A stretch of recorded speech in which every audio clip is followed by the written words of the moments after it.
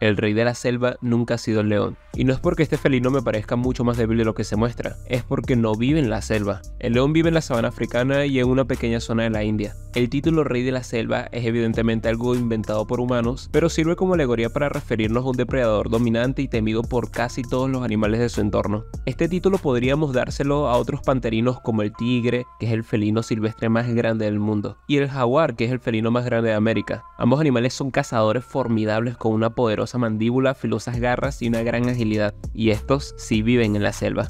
Sígueme para conocer más de animales.